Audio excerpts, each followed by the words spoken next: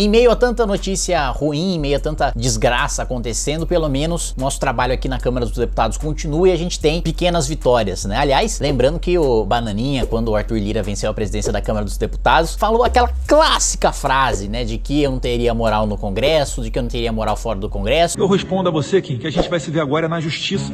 Você vai ter que pagar e ter que provar o que você está falando. E desde que ele disse que eu não tenho moral, ele perdeu cinco vezes de mim na justiça, na primeira, na segunda instância, no Supremo Tribunal Federal. Não tem moral na rua, não tem moral no Congresso.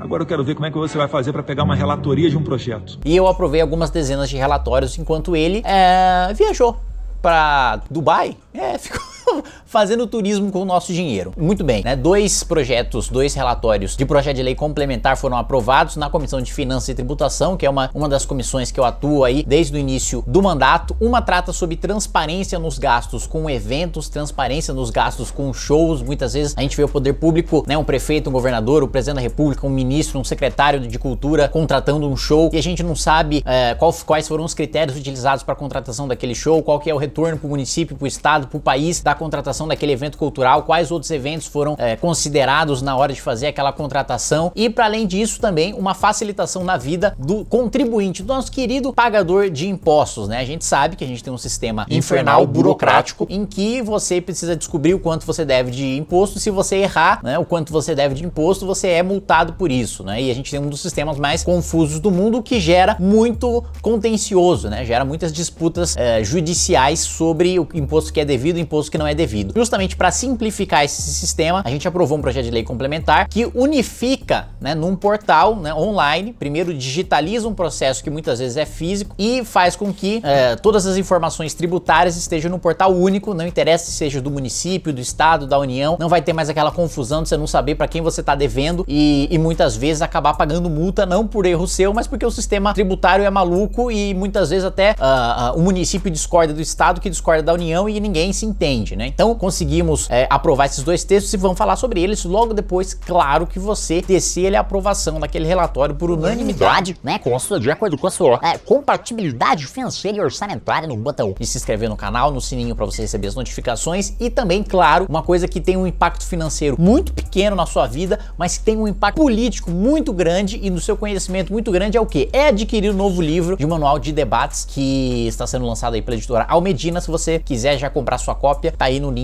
na descrição. Muito bem. Então, o primeiro projeto é justamente acabar com a farra de contratações arbitrárias de shows e de eventos culturais, né? Muitas vezes o, o prefeito é, foi ajudado por algum artista ou por alguma empresa que patrocina um artista e em troca, em contrapartida, ele vai lá e contrata um show, ele contrata uma apresentação daquele artista e você não sabe quanto é que foi gasto, de onde é que saiu aquele dinheiro, quais foram os critérios utilizados, quem é que participou daquela concorrência, se teve uma concorrência, se uma concorrência foi aberta em primeiro lugar ou não e quais os benefícios que foram levados em consideração para a contratação daquele show, né? Se aquilo ia se reverter, se tem algum estudo de impacto né? no que, que aquilo se reverte em investimento, em turismo para a cidade, se a contratação daquele evento era realmente interessante ou não. Eu, pessoalmente, pessoalmente, sou contra a maneira como se financia cultura é, por meio de dinheiro público no Brasil hoje. Eu acredito que uma, uma política pública muito mais eficiente do que Lei Rouanet, que é renúncia tributária, ou do que investimento direto de dinheiro público é, em eventos culturais, iniciativas culturais,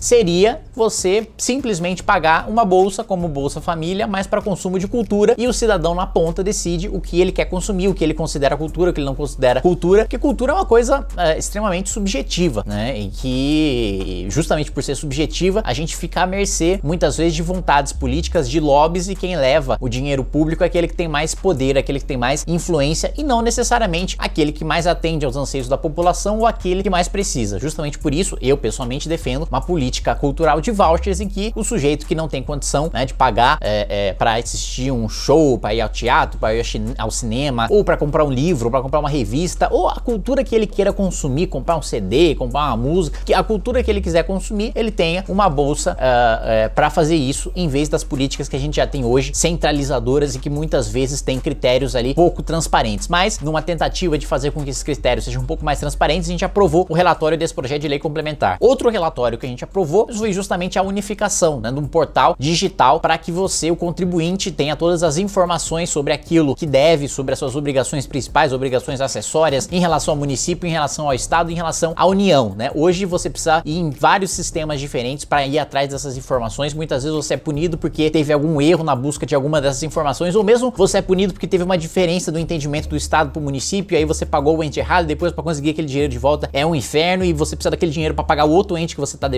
Então, justamente para simplificar esse processo, para facilitar a vida de quem empreende, de quem produz, de quem gera emprego e renda no nosso país, a gente aprovou esse projeto de lei complementar para unificar tudo num projeto, num, num portal digital, né? Esse é um pouco do nosso trabalho que vemos que estamos fazendo aí semana a semana. Esses dois relatórios uh, importantes foram aprovados aí nessa semana na Comissão de Finanças e Tributação e a gente segue trabalhando num mandato extremamente produtivo, sempre prestando contas para vocês, sem uso de carro oficial, sem uso de motorista, sem uso de, de gasolina, sem uso de, de cota parlamentar para pagar comida, para colocar outdoor com a minha cara, para mandar cartinha para eleitor, para impulsionar conteúdo na internet, para pagar moderação de conteúdo na internet, sem uso de cota parlamentar para basicamente nada além de passagens aéreas e de gasto do gabinete com papelaria, respeitando o seu dinheiro e mostrando que dá para fazer muito, dá para provar muito tendo um gabinete enxuto, tanto em termos de cota parlamentar, que são os gastos mais discricionários do deputado, como em relação à verba de gabinete, que são os gastos para contratação. Agora eu quero ver como é que vai fazer para pegar uma relatoria de um projeto. Beleza, gente? Um abraço e até mais.